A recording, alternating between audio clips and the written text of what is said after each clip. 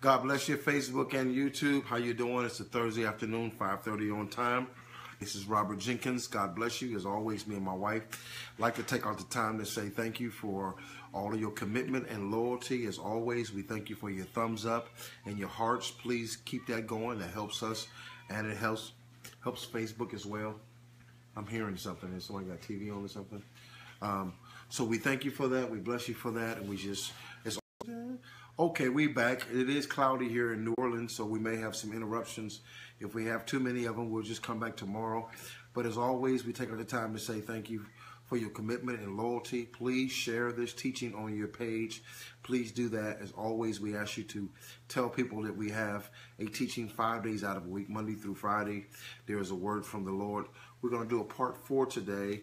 Um, raising stars in the kingdom, raising stars in the kingdom. Jesus is the bright morning star, but we also call the light of the world. And there is greatness in us. There's elevation in us.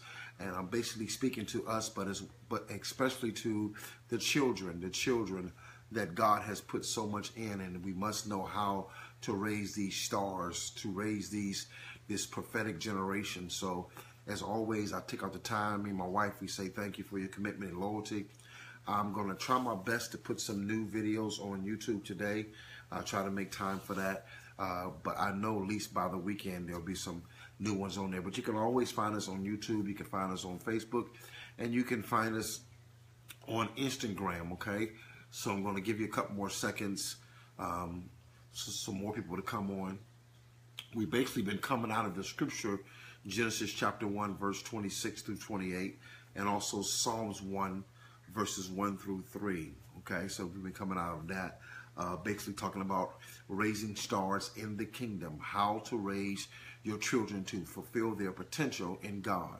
And it's so important that you start from the beginning and give them a strong foundation. Good to see you, Charles. God bless you. I'm looking for Trina to come on any minute. Youngstown, Cleveland, Warren crew. We're just excited about all the people who's loyal. All right. I know Sister Perry will probably be coming on in a minute. All right, good to see you, Melissa. God bless you. Pray for you all the time. Hoping all is well. Don't give up on your dreams. Um, there's some things you shared that I'm praying for God to bring those to pass. So God bless you and stay on the journey. Waiting on some more people to come on. We're dealing with raising stars in the kingdom. Raising stars in the kingdom. God bless everybody. If you haven't had a chance to listen to part one, two, and three, please go back and get that. God bless everybody. God bless everybody. All right. God bless everybody. Yes, yes, yes. Please go back and watch uh, session one, two, and three. Very powerful sessions. If you have children, if God has put you uh, giving you a responsibility for children. Just period. It's, it's just good information of how to be strong in the kingdom, how to be successful in the kingdom. These principles are across the board. If you apply them to your life, you you, you'll see elevation. You'll see the glory of God. That's what we need. We need teaching. All right? All right. I'm not going to hold on too much longer. Um, just try to give time for people to come on. Good to see you. Good to see you. God bless everybody. God bless you. Good to see you, cousin. Ashley, God bless you. Good to see you. All right. Good to see you, William. God bless you. God bless you. Seeing some great men of God and women of God coming on today. How to raise stars in the kingdom. There is a kingdom agenda not only for us, but for our children. Our children. It's very important that we raise our children up to understand who they are in God and to walk according to their design. Don't don't allow uh, children, you know, introduce them to purpose before you introduce them to pleasure. This is so important. If you understand purpose in life before you uh, learn pleasure, then pleasure won't become a distraction for purpose. Very important. Understand purpose first. Okay? Raising stars. Let me go there. Father, I thank you right now for your anointing. I thank you for your clarity of your word. We ask you to challenge us until we change. Lord, we ask you to also allow angels to be with us north, east, south, and west to guard our minds. God, bring us to a better understanding of who we, who you are and who we are. We bless you for all things, and we thank you, Lord, that you love us so much that you didn't leave us to ourselves. So thank you for this particular teaching. Holy Ghost, we ask you and we invite you to have your way. In the wonderful name of Jesus, we praise God and we thank you for all things. In Jesus' name we pray, amen. Good to see you, Brother John John. God bless you, man. All right, all the way from Buffalo, New York. Good to see. you. Good friend, good friend. Raising stars in the kingdom. Raising stars in the kingdom. Good to see you, Superintendent Tyrone. God bless you. God bless you.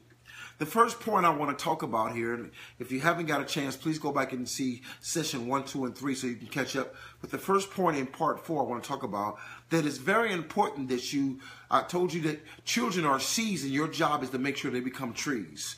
Your job is to make sure that they become trees. God speaks to Adam and Eve before they have a body, before they have eyes, nose, nose, intestines, kidneys. He speaks to them and he says, be fruitful, multiply, replenish the earth. That's in Genesis chapter 1, verse 26. God does inform man in chapter 2, verse 7. So their assignment came from a spiritual place, not a natural place.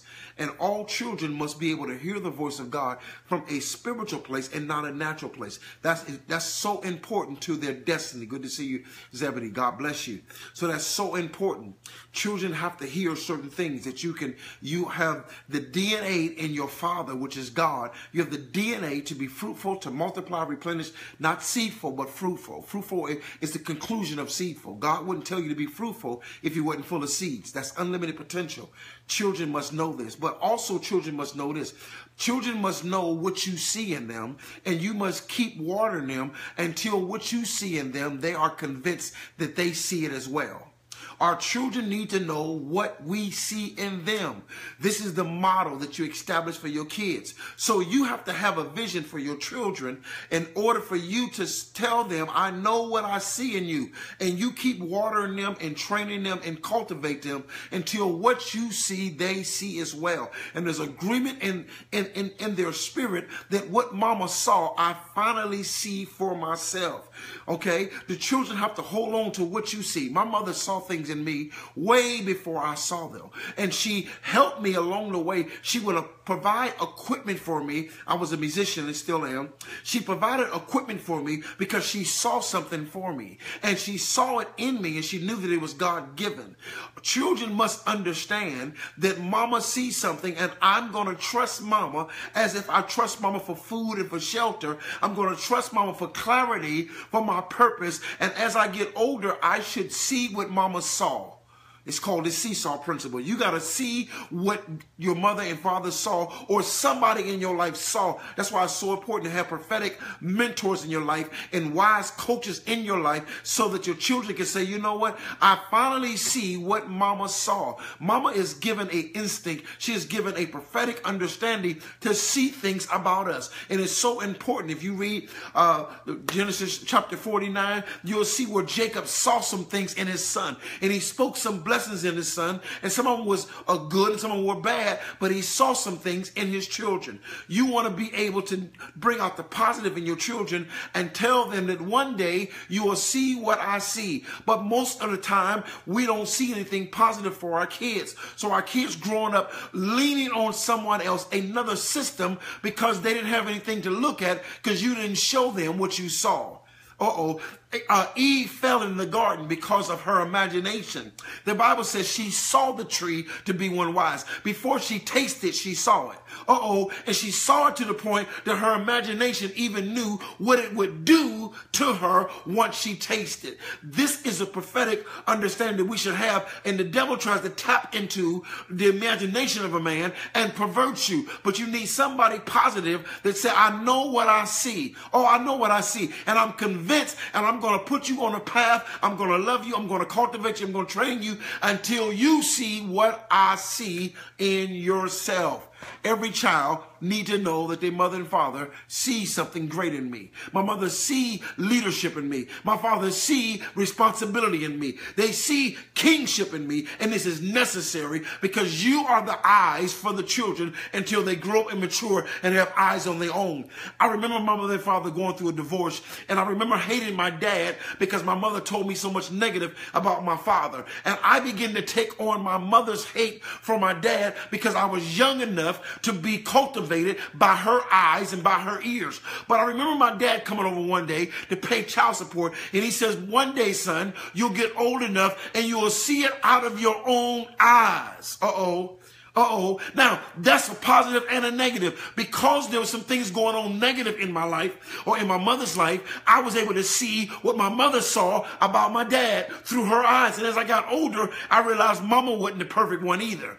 But the purpose of it is that's the negative side. But the positive side is it that we need parents that see something in our children. And this is why I'm giving you the best education. This is because this is why I'm taking you to church. This is why I'm buying you this $300 or $400 equipment. Or this is why I'm putting you in this kind of school. Or this is why I'm letting you meet this kind of person because I see something in you. And it's an honor when the child knows that even though I may not see it, mama see it and I trust and believe it. And one day it is, it is a compliment. It is an honor to be able to know that the child shall see what you see in them. Now, this is positive and negative. If you see them as no good, they may be raised up to believe about themselves based upon how you treated them or what you prophesied over them. But the best way to raise up stars in the kingdom is to give them a positive outlook, a positive outlook on what God showed you about the thing that come out your womb or the person who is coming out your womb. Okay? So important. That's point number one. Point number two, you must teach your children. Now, when I'm talking about raising stars in the kingdom, I'm talking about raising up gifted, called, sanctified children that God has blessed you. Children are the inheritance of the Lord, and you raising them up in the kingdom. I use the word stars because Jesus is the bright morning star. And we must understand that whenever God puts us in the vicinity of a child, they are stars. And do not uh, damage them or tarnish them or pervert them because you can't see. Okay? Very key. All right. So first point, it's so important. This is why I pray every day for children to have the proper guidance over their life. Because who eyes are you looking through? Okay, it's not always what you're looking at, it's what you're looking through. If you have on blue contacts, you're going to see things blue because you're looking through a blue lens. So a lot of times our children don't even get a chance to see the greatness in them because we give them a, a lens called pain or rejection or sorrow or you're no good like your dad or you, you're not that you're not that smart or you're dumb or you don't understand and they never got a chance to grow up in a house where mama saw something positive about me I feel the Holy Ghost. Mama saw, mama saw me coming out of college. Mama saw me owning my own business. Daddy saw me uh, working uh, hard and being able to take care of my family. I know I can do this because I know my mother and father, what they saw and what God showed them was not in, inadequate. It was not. It was not, uh, it was accurate. It was clear. And I believe it. And now I am convinced every day of my life, I think about, my mind runs so fast. I think about so many things that my mother told me that I see now for myself. She believed in me. She believed in me. How you going to raise stars when the parents don't even believe he's going to be successful? When the parents don't even believe that he can finish college? When the parents don't even believe that she's qualified? When, when those who are connected to you don't even believe in your greatness? You need to be able to raise your children up to this is how you raise stars that one day you will see what I see. I remember uh, when I was young and I was playing drums. I told the story before and I'll tell it again. And my mother would let me practice drums from 4 p.m. to 8 p.m. I would get home from school about 2.30. I had from 2.30 to 4 o'clock to do my chores. You know, we do upstairs. I do upstairs. My brother do downstairs. Or I do downstairs. He do upstairs. I run the sweeper and dust. He wash dishes. The children don't even have that anymore. We had a responsibility from 2.30 to 4 o'clock. After my everything was done by 4 o'clock and homework was, was done as well, I could practice my drums from 4 to 8. Uh, one time my mother had company and I was downstairs playing the drums. And drums are very loud and very noisy. And I remember the lady saying, come on, Pat, can you tell him to stop playing that noise? It's so loud. How do you deal with all that noise? And I remember hearing my mother say to her, I will deal with the noise until it becomes sound. I'm going to tolerate the noise until it becomes sound. She saw that my noise could become sound. You need people in your life that can see and hear your noise and know that one day it will not always be noise. Are you hearing me? Somebody has to see that you're intelligent. Somebody has to see that you are very witty. Somebody has to see it. And, it's, and, you, and that's necessary that you lean on that person until you become convinced that what they saw in the positive is true. Very key. Point number two, in how you raise stars. You must teach them, and this is for teenagers, teach them how to start what they want to see. When I was going to school and going to college, there were a lot of young men and young women who were sold out for God. And they would go to college and they would they would notice that there wasn't a strong Bible uh, study. There wasn't a strong Bible uh, uh, community. There wasn't a, a, lot of programs for, for Christians. And these young men and these young women would start their own Bible study. And I'm telling you, it, it, it took off like wildfire. You got to tell your young stars, you may not see yourself in your school, but what you know that is in your spirit, man, I feel the Holy Ghost today. What you know that is in your spirit, if you don't see it, then start it.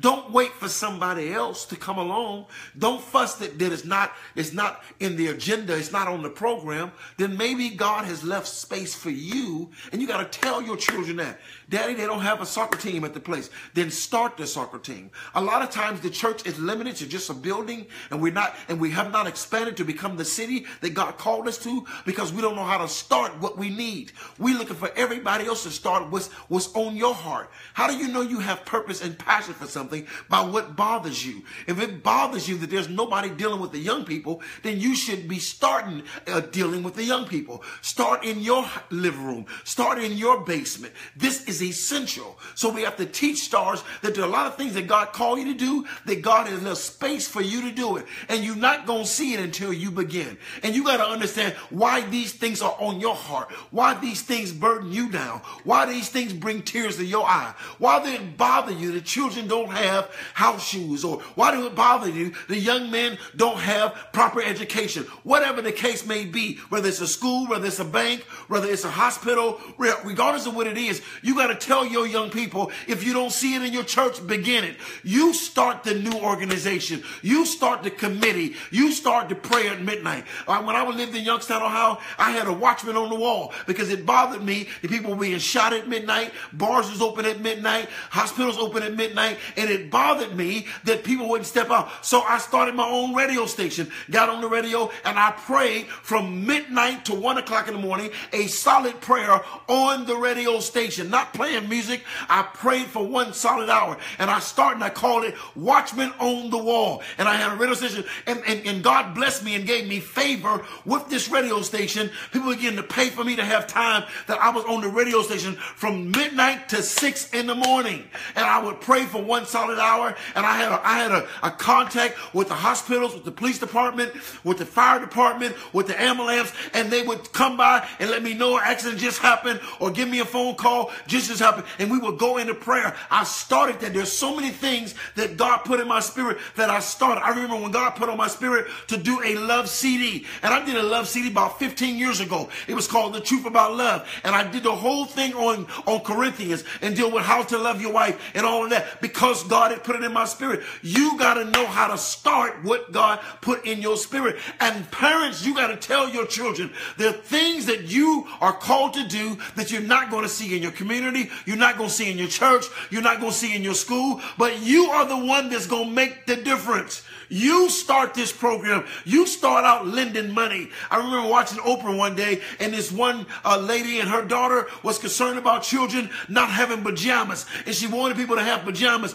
And before you know it, people were sending pajamas all over the place. She had to get a warehouse, and she began to hiring people and actually created income that give people pajamas because there was a need. We got to teach our children, you are the business owner. You're going to start things. Man, I feel the Holy Ghost. You may open up the first restaurant. You may start the first uh, save and sanctified donut shop, whatever it may be. And you got to understand that God is calling you and you have to start it. And you have to have enough courage. You got to tell your children, you can do this. Mama will invest. Daddy will back you up pastor will be there for you because a lot of things that God is putting on your heart, you're not going to have to wait for others. You are going to be the engine that start. Uh-oh.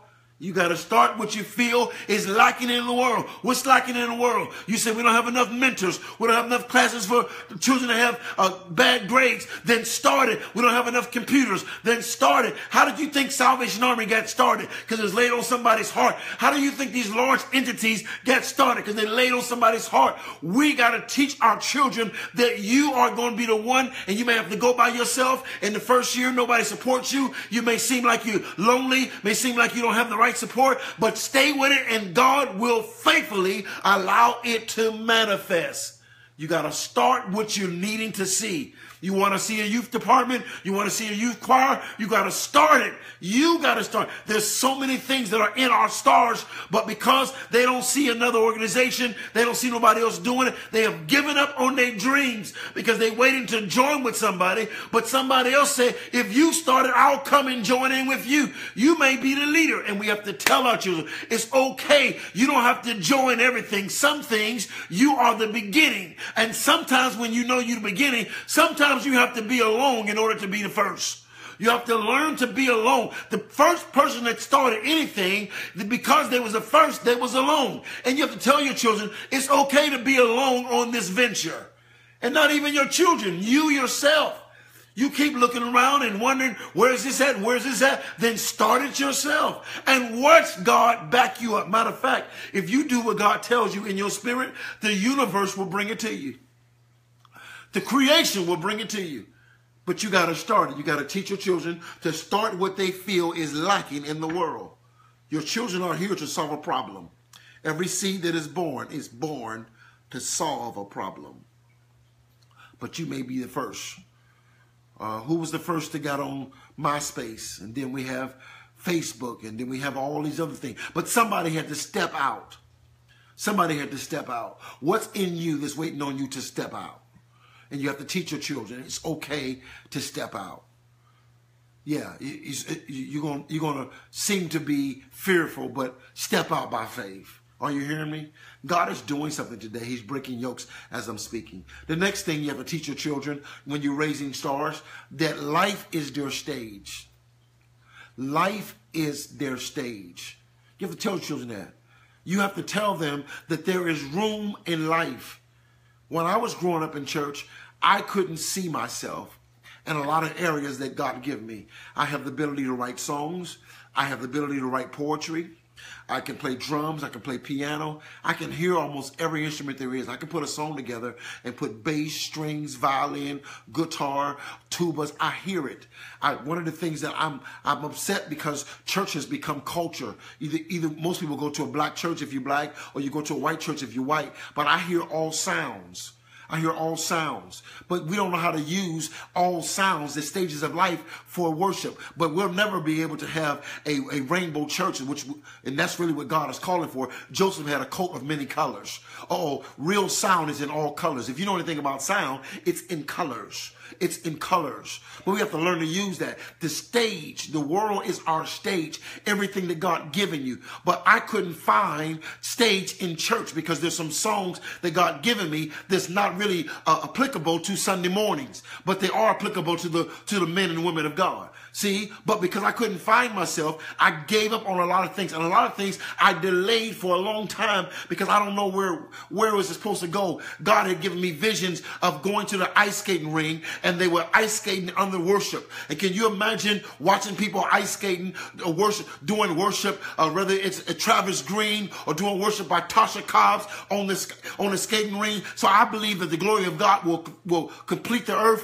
when we use the world as our stage. Jesus died on the outside. He fed on the outside. He healed on the outside. We want to do too many things in the building. We have to teach our children, do not limit what God given you to the building. You, the stage, the, the world is your stage. God is going to use you. You're not just called to the congregation. You're called to the nations, to the nations, baptizing them in the name of the Father and the Son and the Holy Ghost. Go into all the nations. There's some giftings that that's necessary. It's not needed for Sunday morning, but it, but it is needed for Thursday afternoon. Come on, somebody. And we need all of these ventures in God. The stage is. And so what happens is when we don't look at the world as our stage to display the glory of God, then we lose people from the local church. We lose them because if I'm a comedian, I don't know how to feed my family on telling jokes on Sunday mornings. I can't tell jokes on Sunday morning. If I'm a tap dancer and God has given me the gift to tap dance, where do I tap dance at? What choir is going to let me tap dance along with them? Now, do I have to tap dance in the world and I'm saved and sanctified and I thank God for saving me from my sins and redeeming me, but I'm limited because we only can do a certain amount of things in the building. But if we became the earth is the Lord's and the fullness thereof and understand that we are city set on a hill, we should be owning our own malls, our own skating rings, our own bowling alley. Come on, somebody. See, this is so so deep, and I'm sorry that your reception is messing up, but we should have our own skating ring. The other day, I took me and my wife, we took our children to the skating ring, and it was all gospel music, and it was a pleasure to watch them out there skating to gospel music. Yeah, blessing God. And I'm praying for the power of God to touch a person's heart.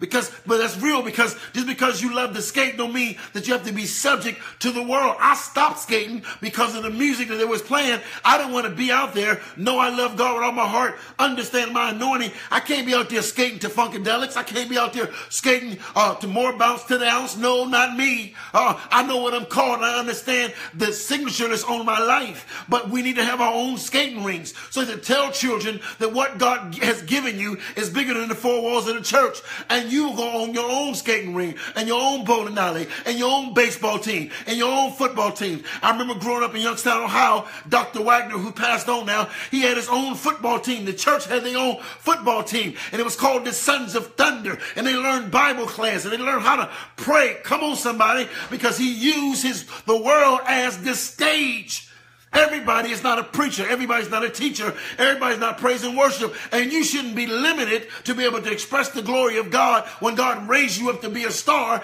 because, because you don't preach and you don't teach and you don't play the organ, you don't play the drums. Oh, well, I guess you got to go to the world. No, we need tuba players. We need saxophone player. We need people who do tap dancing. We need people who do artwork. We need those who know how to do flowers. We need those who know how to cook food. We need those who know how to sell shoes. We should have our own shoe uh, a line, an own clothing line. Come on, Puff Daddy can have his own clothing line. People have their own commercials, have their own cereal, and here we are, the salt of the earth, the salt of the earth. We are the salt of the earth and the light of the world, but we limit it to just singing the same old songs, shouting, speaking in tongues. That's all it is to what God has given us. No, the stage is your world. And I'm telling you, when we have, when we have learned to advance outside of the four walls of the church and begin to, to promote and support the stars that God has given us to rise up, they're going to introduce us to another uh, arena that we don't have to say, I'm bored, what we doing. Most, most Christians wait on Sunday to be excited. Can't wait for Sunday, can't wait for Sunday. We ain't got nothing to do on Fridays and Saturdays. How do you leave the world with the devil? You party all night Friday, all night Saturday, drink yourself to death. Now you gave yourself over to God, submitted yourself into the will of God. And now when you get saved, you're boring on Friday nights because we don't have our own skating ring, our own restaurants, our own malls. But then we want to preach we are the light of the world and the salt of the earth. Well, I don't see nothing but a building and a bus that don't work. No, we got to understand that the world is the stage. The world, and we're supposed to introduce the world to the goodness of God, to the glory of God, and we can show them how to do this right. We should have our own barbershops, our own hairdressers, come on, our own restaurants. My God, I feel the Holy Ghost here. And we have to tell our children what God has given you. You don't have to be subject just to use it on Sunday morning. You may never use it on Sunday morning, but you're called to make a difference in the earth and what God has given you. And you can't let, there's so many people who can't find themselves because they say, well, I know I'm not an apostle, not a prophet, I'm not an evangelist, not, not a pastor, not a teacher. I guess I'm just a sheep. And they don't know what they're called to be because we got this five little thing that we hold everybody to, or unless you're a musician, we hold everything to. But what happens if you know how to draw? What happens if you're good with children?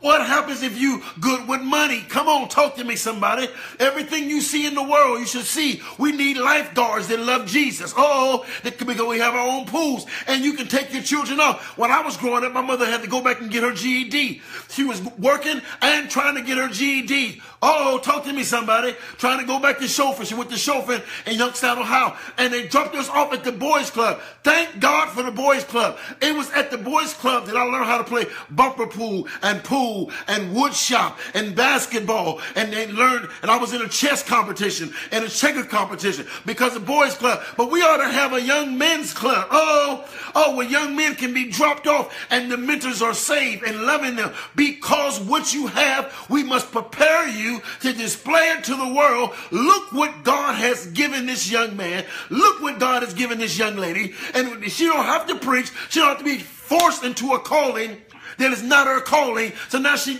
called herself a minister. No, you're not called to preach. You're called, you're called to be a counselor. You're called to be a mentor. But because we're limited, are you hearing me? We're limited.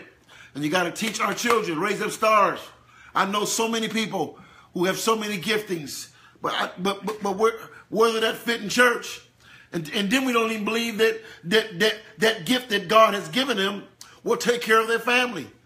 So we'll make people go get a job when God gave them a career. We'll make people go get a job that God has given them the career. God has given him a career, a lifetime career, not, not a job just to be able to serve somebody else to pay bills when 85% of your money is going to bills. You're not working for your family, you're working for the banks. You're working for the house department. You're working for electric and gas. See? But God is t- trying to teach us how to raise up children that if they do what they've been called to do and have been equipped to do, they'll be able to be able to leave inheritance for their children. But you can't do it in the small little four walls of your church. You can't have 30 ministers at a church. How many times you gonna let him preach? It's 30 of us. The pastor preaches every Sunday. You waiting, you waiting around every second Sunday, one young minister preach. It's 30 of them. Well, it's ain't but 12 months in a year, so you got a year and a half before you get a chance to speak. Because we don't know how to make the world your platform. But there's somebody in the corner who needs that word you have. There's somebody, there's somebody at the bus stop that needs that word you have. You have to make the world your stage and tell your children that. Let's go down to the bus stop. Let's talk to some people. Let's go visit the homeless. Let's go talk to some people. Oh, you you you you drawing all over. You got great artwork. Let's show the artwork to the world of what God can do. We should have our own artwork and paintings that we don't have to buy from the world and from the commercial to put uh, decorations in the church or in your home. You should have people who have their own drift stores. Me and my wife, we love to go through the, uh, the stores, but we should have our own. All the stuff that we have, but you know why? We don't believe the world is our stage. This is how you raise stars. The world is your stage. And everything that God has given you is to be displayed so that God can get the glory out of it. We should own more property than anybody. We've been given land. The first thing that God promised us was the promised land, flowing with milk and honey. The, the, the, the apostles was business owners. Peter had his own fishing business. Talk to me. Matthew was a tax collector. These, these were entrepreneurs, people who own their own business, and they know how to do it. They went out to the world and fish. See, this is real talk, and you have to expand your children's mind or they'll be lost in church wondering, where do I fit in, mama? I don't do that. So now you're making people be preachers who are not preachers. You're making people do things that they're not called to do because the stage is too small. See? And that goes from everything. I remember when MC Hammer first came out and he was dancing, then he gave his life to God. He didn't know how to make that transition. Because when he made transition to go to gospel, his, sales dropped because we don't support one another. That's another thing. You got to get behind these ideas. You got to get behind one another. When God has raised you up a star with the teaching that I will support you, I will be behind it. Kids should have their own lemonade stand, uh, stand. Kids should have their own hot dog stands, and, and whatever the case may be, have their own tent. Kids should be able to talk to have their own lawn business, cutting grass. I was I was going in, I, I was raised in the projects. And, and, every Saturday, my grandmother told me to go knock on other senior citizens' door and take their trash out. And that's when they had dumpsters. And I would take a little trash can and pour it in the dumpster, come back to the lady house, and she'd give me a nickel. I come back to my grandmother's house an hour and a half later, I got seven dollars in my pocket. Well, that, that was seven dollars was a lot to me. I'm talking about in 1970. I'm seven years old, but I'm learning how to make money. I'm learning how to have a business because the world is our stage. I can't wait to get older and start teaching and preaching in church. There's business ideas in the kids now. The creativity is in the children now. But we got to tell them when they go to church, you may not see yourself here, but God has a place for you and you don't have to compromise to the world. This is how we lose singers and entertainers and business owners because they don't know how to still stay in God in sanctification and, this, and, and express their gift. And because of the environment of the world, next thing you know, you didn't got contaminated because you went around the right people. I told you yesterday, we should have a city called the City of God, where you go there and everything you need for a regular household, to getting groceries, to getting your car fixed, to getting your hair done, to buying clothes, should be owned by the saints. How do we have a, a Walmart and don't have a church mark? Walmart is bringing everything together. You can buy bikes at Walmart. You can get groceries at Walmart. You can go to Subway, go to McDonald's at Walmart. You can get uh, uh, you can get lawn equipment at Walmart. Why don't we have that? Because the ideas first come to the salt. Every idea first comes to the kingdom. But because we don't know how to make the world our stage, we suffocate it, we suppress it, and before you know it, we only believe in a couple things. Oh, God. Help us, Lord Jesus. I hope I'm blessing you. Next thing we have to teach our young people that God may give you favor, God may give you school, and God may give you work. You have to know that every child is not going to come out of college. Don't force every child to be educational. Find out what is on their life, the anointing on their life, cause them to be in prayer, supplication, be thankful, and teach them to know where the wind is blowing for their life. Some people, God is going to have favor on your life, and what school does for someone else, favor is going to do for you. I was able to start playing drums for a lady in, out of Warren, Ohio by the name of Debbie Austin. Debbie Austin was a singer for James Cleveland, and she used to sing her and another lady called Gwen Morgan uh, out of Warren, Ohio for the Caravans. It's way back in the day. But what happened was I was at a church uh, at that time, Mount Zion Baptist Church. That's where I was licensed at. And my father in the ministry was Reverend C. Ricardo Walker. He passed on now, and he invited Debbie Austin, which she was a friend of, of, of his, to come and sing. And because I was at the church service, and when she came to sing, I noticed that she had singers and a piano player, but she didn't have a drummer. So I asked her after the service is over, you don't have a drummer, I play drums. Uh, you know Pastor Walker, he's a good friend of yours of yours. He's my father in the ministry. Uh, can I audition for you? She said, well, I'm looking for drummers. Come that Saturday and audition. Well, I came that Saturday and audition. And that following week, I was going out of town being Debbie Austin's drummer. And it was from that being in the right place, being in the right place at the right time, God allowed the favor to come in my life. And next thing you know, I'm playing drums for James Cleveland and Charles Fold and Vickie Winans. And I'm meeting all these gospel entertainers, Vanessa Bell Armstrong, the Winans, all these different people who were coming up in that time because I had favor on my life. Now, somebody else may have to go to college and come out with a degree and go to an academy of school, or go to all that. I didn't go to that, but God gave me favor. I didn't know how to read music at that time, but later on in life, I went back and got some drum lessons and learned how to read music, but favor was on my life. You got to tell your child that God may give you favor. Now, this doesn't mean to talk against school or talk against education, but sometimes God has favor on your life and you never know how that favor is going to run. Okay? It's the same thing with Joseph. Joseph had a dream that he's going to be higher than his brothers and his sisters, and even higher than his mother and his father. When he found himself in a pit, he found himself in a prison, but next thing he had favor on his life because he interpreted a dream. Uh-oh. And when the king needs somebody spiritual, he, was, he, was, he, he was heard about, and he called him up, and then he was elevated out of favor. Out of favor. So you have to tell your children that favor could be on your life. And you can go from one place to another place in a matter of seconds. You can be broke today and rich tomorrow by the favor that's on your life. You can go from nobody knowing you to the whole world knowing you overnight. You don't really get any bigger. Your exposure does. People say, well, where are you famous? I've always been famous. I have not been discovered. Uh-oh. I know who I am in God. I know who I am in God. But God's favor will elevate you. Okay? Paul was a Saul. I would say Saul before he was Paul was a killer of Christians. He was a killer of Christians. So when he came into uh, being saved, uh, uh, no one wanted to trust uh, uh, uh, Saul as Paul. Oh, his greatest revelation yet. Nobody wanted to trust him. But God gave him favor with Barnabas. And Barnabas gave him credibility. You never know. God may connect you to somebody who will give you favor and move you five steps ahead of the person who working hard.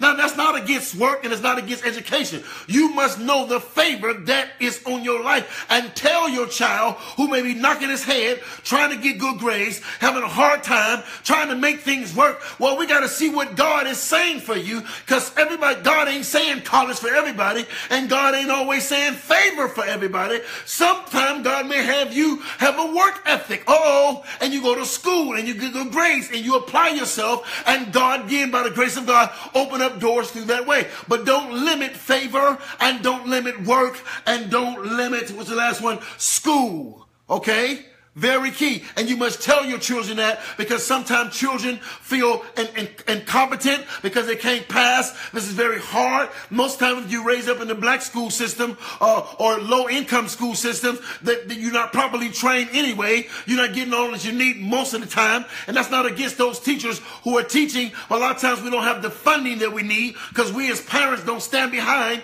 proper education. It's so expensive to go to college now. oh, if you don't have the right support, but you never know the journey God gonna take you down. There are so many people that went a different journey. So you tell your child, I don't know what journey you're going to. You may go down through the, through the Joseph journey. I don't know. You may go through the Moses journey. Moses' mother had to give him up. Oh, give him up at birth because there was a decree to kill all the children. But the very thing she released, God brought back to her. You never know. God may have to let you let some things go. And sometimes you have to have a temporary loss in order to have a permanent gain. But you have to tell your children that favor could be on your life. And when favor's on your life, connections on your life. And when there's connection, oh, oh, oh, there's a connection that God will connect you to the right people at the right time that will take you to the place you need to go. But then sometimes God will have you go through the education. Woo, God and you have to work and you have to learn. I've worked for many, many years of my life. I remember starting working in OWE program when I was in, in high school. I'll go to school half a day and I work half a day.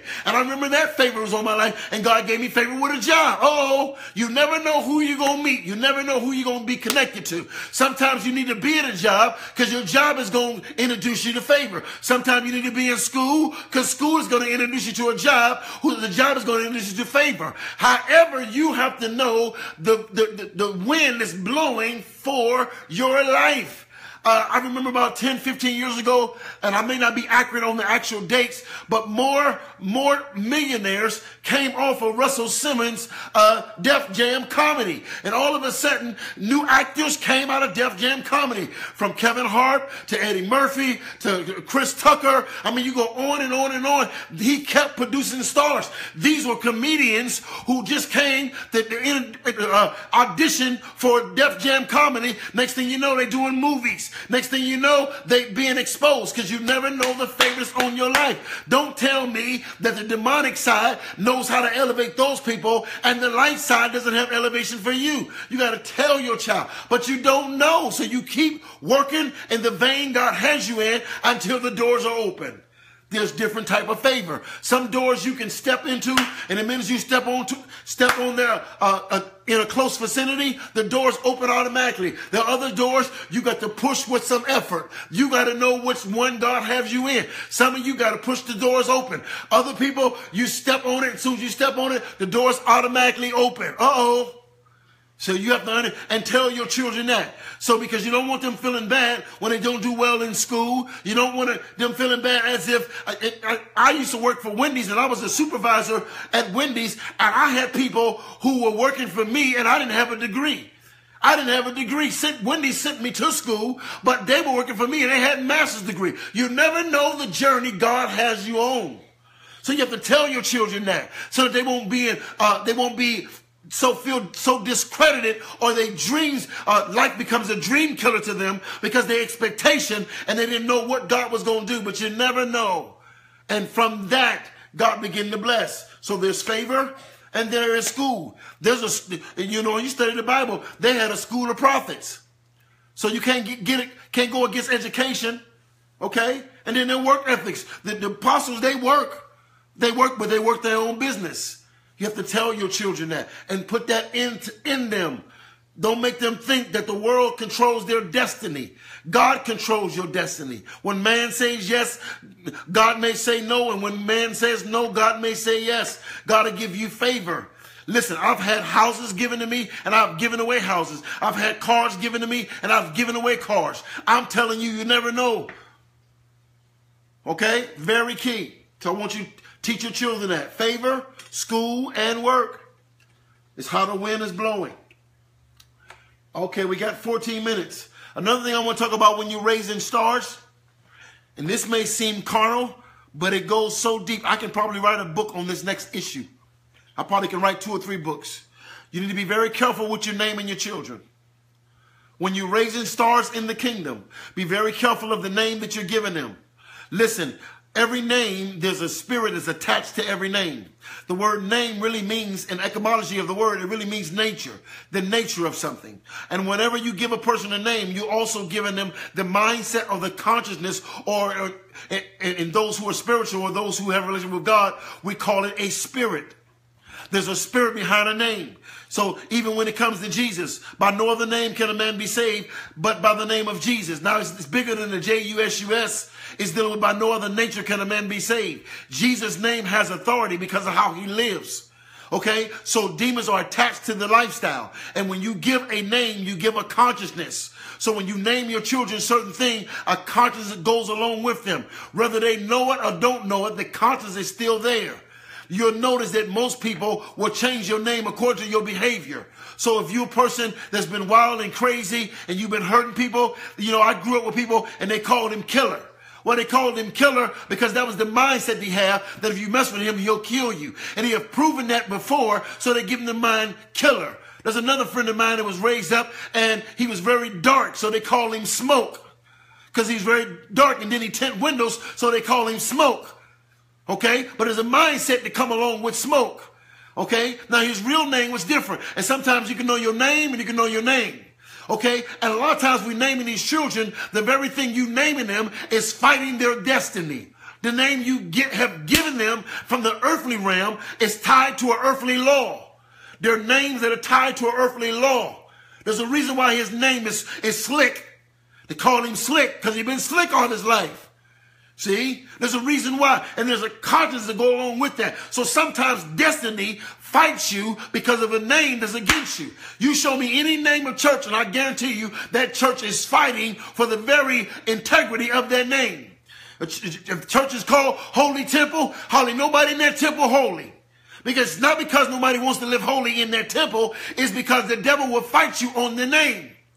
So you be very careful. That's why you can't name churches after people because this is not your church. So when you call that church by your name, now it is your nature that is running that church. See, this has happened, and it happens to people. It happened to Jacob. They named him Jacob. Jacob means trickster. So guess what he's doing? He's stealing birthrights. He's stealing blessings. His mother helping him con his father. He dressing up looking like his brother because his name is trickster. So what the first thing God does when he when he wrestles with him? He changes his name. Why does God need to change your name in the Bible? Because there is a mindset that's attached to your name. So we name all these kids all these crazy names, and most times we don't even know the meaning behind it. A lot of times there's Buddhist behind it, there's witchcraft behind it, there's a warlock spirit behind it, uh, there's a generational curse applied to it. Uh-oh, all these names and we don't know it. And now your children come out trying to fight for their destiny. Even when they're young, they don't even know who they are, but something is wrestling with them because you gave them a name. Where does Shaniqua come from? And I'm not going against names. I'm saying understand. in the old days, they would wait for a while and watch the baby's character. And then they would watch and see and wait for discernment and wait for the spirit to reveal who this child's supposed to represent so they can name him so he can live in his name. This is why if you study African American, one of the reasons why people who are into uh, black power and stuff like that, and I'm, I'm, really not into it, but people who are into it, they're, they're very uh, upset about them changing our names because at one time our names meant something. When you said the name Medulla, it means man of power or man of courage. So you would try to live according to your name. Oh, See, but we didn't get away from that. So we became Americanized and American names, and these spirits are attached to it. So you have to be very careful. Why? Because you don't want to start a war with your child, even before they get a chance to even know who they are. They're already fighting with a name you gave them. See? Not because it sounds good, you want to spell it different, you want to be different, you want to be unique. Even me and my wife, when we get dogs, and, and you know, my wife loves dogs more than I do, but we try to study the dog. We say, well, let's name her that. No, she don't look like that. No, let's name him that. No, he don't look like that. And then a couple dogs we named, we, we kind of regret we named them because they lived out their name. My, my wife loved that movie, Marley and Me, and the dog was destructive and, and tore the whole house up. So we got a nice pit. It was half pit and half lap, and we named it Marley, and it lived out the name. It was destructive, tore up my wife's garden, just tore up the backyard, because you know what? You named it Marley. There's a consciousness to go along with that. So a lot of times the destiny is being arrested. So God said, I got to change your name from Simon to Peter. Change your name from Saul to Paul. Same, change your name from Abram to Abraham because there's destiny on your life and your name has to match your destiny. A lot of times we ruin how to raise stars because you're raising that name you gave them. And the world will give them a name. Killer, smoke, slick, quick, ladder, whatever the case may be, black, you know, all these names, and they can be depressive. Or they can help, they, what they do, they create a, a maze and it's hard for you to get out the maze because because you don't even know there's a consciousness that's making you be who you're not. It's making you wear a mask that you're not a killer, but you but you can't get past the spirit of the conscious behind a name. That's why I was telling you about tattoos. Let your kids have tattoos. Let your kids have earrings. There is consciousness. If I walk up to a bar and I have a Bible in my hand, I don't have to say I'm a Christian. That Bible is going to give a signal because the Bible is attached to something. A cross is attached to something. Automatically, everything you carry, everything, it's a symbol. A hand sign carries a signal. Names carry a signal. Even why you think you want to wear certain designer's clothes? Because you want to wear their name, because their name means success. So you want to have on the latest designer, because now you feel successful by the very name of the designer. Why you think everybody want to say that's Beyonce or that's a Puff Daddy? And Puff Daddy kept changing his name to Puff Daddy. Well, whose name is Puff Daddy? See?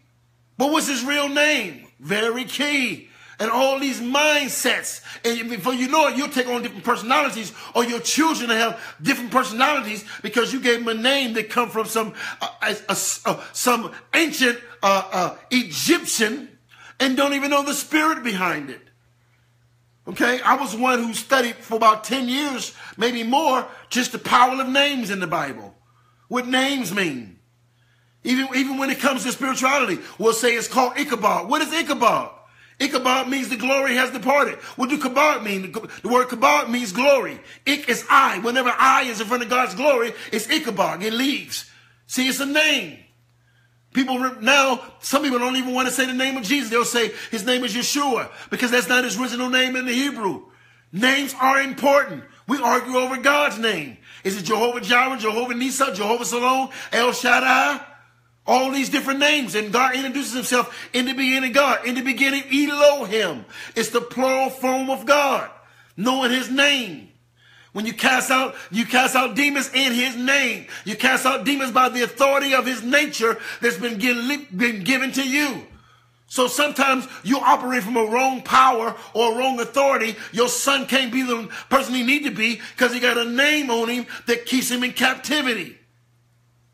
See? Even names as if crazy or he crazy. He done lost his mind. That can attach to you. That's why I don't like people when we address people. Oh, he's a homosexual. Oh, he's gay. You put a name on him. And there's some people that we put a name on them. That's not even their lifestyle. They've never practiced homosexuality, but we label them and now you can't see who they are by the name that has been given to them. This is important, okay? And it, it, it can damage destiny in raising stars by the name you put on. Something so simple as by, by the way they address themselves, okay? Oh my God, I got five more minutes. Okay, you have to teach your children to have a love for God, not a love for gold. Listen, one of the strongest entities that will, will snatch your children out of destiny is the power of money. The power of money has purchased so many people. The Bible says, what do a profit a man to gain the whole world and lose his soul? If it says, what does a profit a man to gain the whole world and lose his soul? It's saying that you could sell your soul for gaining the whole world. Jesus Christ, when he was tempted by the devil, one of the temptations was, I'll give you all the kingdoms of this world if you bow down and worship me. If the devil had enough ner- nerve to offer kingdoms to the, to Jesus Christ himself, who he knew was God, who he knew was God, then what do you think he gonna offer you? And when you don't, when you teach your children to be driven by gold, when you teach your children that gold is their security, if they have enough money in the bank, they're secure, then you're fooling them. Because I'm telling you, the government is going to shut banks down. They had a thing on the news yesterday, all these different restaurants that were being shut down because of the, the government took away how much people can write off. These business owners and these, these, uh, movie stars who can come in and filmmakers, they was able to have so much budget to write off, billions of dollars to write off, and the government shut off them right. And when they shut off them from giving the right to write off billions of dollars, it affected the restaurants. And then their business, then they had to shut down different businesses. So security cannot be in anything outside of God. Your only safety is in the will of God for your life. There is no recession in heaven, but you got to make sure that you don't put your trust with what rust and moth does be corrupt. But you got to seek ye first the kingdom of God and his righteousness. But you can't raise your children to be driven by gold because they'll shoot somebody over a gold chain. See, when you're raising up stars, you make sure you teach your children where value should, where, where value should be and what honor should be. But if you raise them to be gold conscious, image conscious, fashion conscious, all of a sudden they'll take somebody else's kid's tennis shoe. They'll steal somebody else's car and bike because they're gold driven. See, they're not God driven. And you got to put that in your children at a young age that God is your security and God has given you a purpose and every purpose has a vision and every vision has a provision and God will provide for the vision he gave you according to your purpose. All preaching now. This is essential. But you'd be surprised we're driven by goals. We're driven by a Mercedes Benz. We're driven by, and nothing wrong with nice things. But you should, you should drive the car, not the car drive you. You, you should, you should have, you should have the clothes on, not the clothes have you. Okay? It's not what you drive, it's what's driving you. Oh, oh, where your real passion is.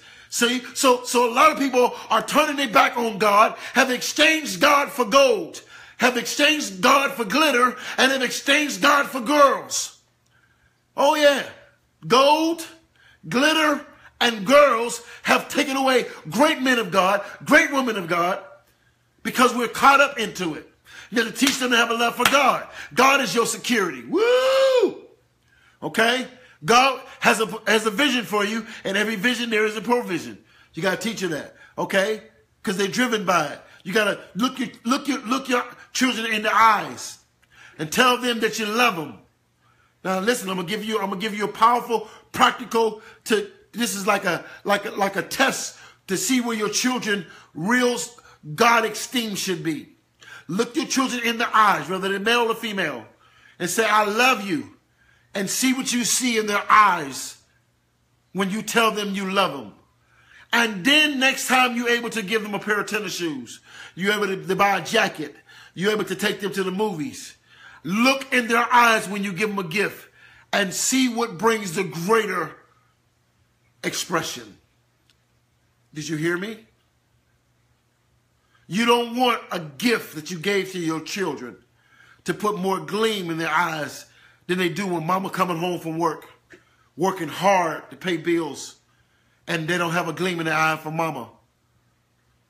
Because that means their perception has been turned. It's not, it's not accurate. Are you hearing me? I look kids in the eyes. I look them in the eyes when they're being whooped. How they really deal with love that brings chastisement. See? I want them to know that daddy loves them. Mama loves them. So there's a look in their eyes you should see. See? When you give them gifts versus you saying, I love you. When you hug them, pay attention because you're raising stars.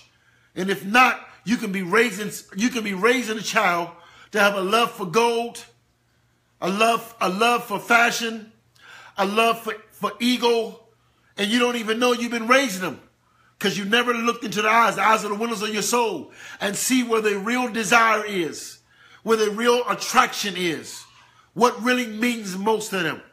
We got a grandson here that every time my wife comes home, you can look in his eyes. He has so much love for her. It's amazing, and that's where it should be. And you know what? When she blesses him with a gift and gives him something, he's so excited and he's so thankful. But his thankfulness and his excited is coming from not from what he's getting, but who he's getting it from. When you raise up stars, you teach them to be excited about their gifts because it came from the lover of their soul. It came from God. See, it's offensive to give somebody a gift and you know that they're more in love with the gift than they are you. But when you understand that they're excited about the gift because you took out the time to give it to me, you spent your money to do it, you thought enough about me. And that's how you raise stars.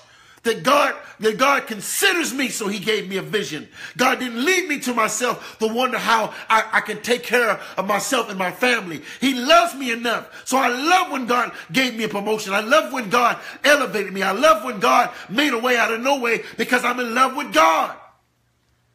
That's how you raise stars. That the priority of their love is in order. Our love is out of priority a lot of times. And we raise children to be gold takers, to be gold drivers, because we didn't push God enough. Woo! Are you hearing me? This is essential. Love for God and not gold, not glitter, and not girls. Very key. Okay, I'm past my time. Um, I'll stop there because I want to take a lot of time on the next point. Father, we thank you for your anointing. Thank you for clarity. Thank you for simplicity today. I felt simplicity. And I bless your name for it. Somebody is about to be elevated. You're being watched. And this goes for me as well. God is elevating you. He's elevating you. Um, you almost lost your dream and God is drifting you back. And and by you coming back and, and, and, and revisiting some thoughts, and you're revisiting some promises, um, you're going to see God move on your behalf. I'm telling you, it's not long. Within days, you're going to begin to see this thing rise up. If you haven't already saw it, okay? God is doing something. Uh, stars are, are, are, are, are, are lights that are bright and up. When you look at a star, it's it's it's it's millions of miles away. It looks small not because it's small. Some scientists says that every star is a galaxy. So when you understand you're raising stars, you're raising galaxies. They look far, they look small from a distance, but they're large. Never, never believe that what God has given you to raise or to be is small. It's large. The closer you get to it, the more you'll see how huge God has trusted you. He trusted you with a huge responsibility. He trusted you with a huge obligation. He trusted you with a huge opportunity. So I'm telling you a word of knowledge that your elevation has come and God is elevating you. A star could fall million years ahead of us and we won't see it until a million years later because it's traveling through space. You have to understand the space, the space that is designed for what God has given you. It's huge. I'll, I'll give you an example and I got to go. uh, I know people enjoy my teaching. I know the anointing that's on my life. I know the insight and the wisdom that God has given me. But the truth of the matter is, the real truth of the matter is, I really don't even have a clue how large it is. As much as I do know, it's just a million times greater what I don't know. But I do know that it's that large, even though I don't even know what I know, but I know it. You understand what I'm trying to tell you? I know it. It's, it's that huge. I, I, I, know it to the point that I don't really know how many, how, I know that people have, have, have experienced a real impact in their lives because of what God released out of my mouth. But even though I know that, it's so much of impact they couldn't even tell me. That's what I'm trying to tell you. To the point that it'll be 100 and 200 years from now, and people will be watching this very tape that I'm saying. And people will be listening to this tape. We don't know what time it's going to be how it's going to be. And they'll be saying, my God, when, when did he say this? I, I, there's a book that I read by, by a guy, and he, he died in the 1600s.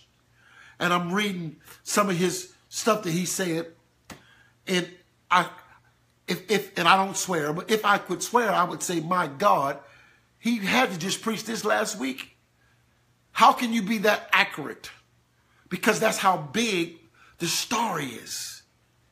That's how huge the layers are. See? So welcome back. And watch, watch how big God begin to show you what's in you that you thought was a little star so, so far away. Okay? We're called to raise stars. Thank you, Lord Jesus. We bless you. We'll see you tomorrow. We'll do a part five. We'll end up in the last three points and we'll go from there. I love you. God bless you. Pray for me and my wife. And I say this learn to celebrate who God has given you. Learn to celebrate. If God bless you with a wonderful wife, celebrate her. If God has blessed you with a wonderful husband, celebrate him. If God has blessed you with wonderful children, celebrate the stars. When even the wise men in the Bible who may not have been saved. They was astrologers. They studied stars. But they knew that the bright star had come to the world. And even they came to celebrate who Jesus was. They celebrate Jesus in the manger, knowing that he was going to become the Savior. They didn't wait before he, they didn't wait for him to become the Savior to give him his, his, his respect and his honor. They did it as a baby. When you, when you understand stars, you can celebrate the beauty of who they are even when they are in their infant stage. Even when they haven't learned everything yet. Even when they're still growing. Learn to celebrate the baby. The baby. Learn to celebrate. Learn, and I even speak this to you. Learn to celebrate your baby steps. You're a star, but you're making baby steps. You may be in a manger. Nobody really knows you, but you got to know, celebrate the small, the small loan. Celebrate you was able to save just a little money on the side. Learn to celebrate each step because that's called raising stars. You know, when, when they crossed the Red Sea, that they made a marker and they, in every step and they would stop and get the tambourines and they would mark the place where God delivered them from? When you're raising stars, you know how to celebrate. You got an A today, son. You pass fifth grade. You celebrate fifth grade. You, you celebrate, you celebrate that first step. You celebrate it because you know how this is how you raise stars. And, and God just gave me that just now. A lot of times in raising stars, there's not enough celebration. There's too much being critical and not enough celebration. Celebrate the good times in the marriage. Celebrate the good times in the friendship. Because you're raising something that is beyond your imagination.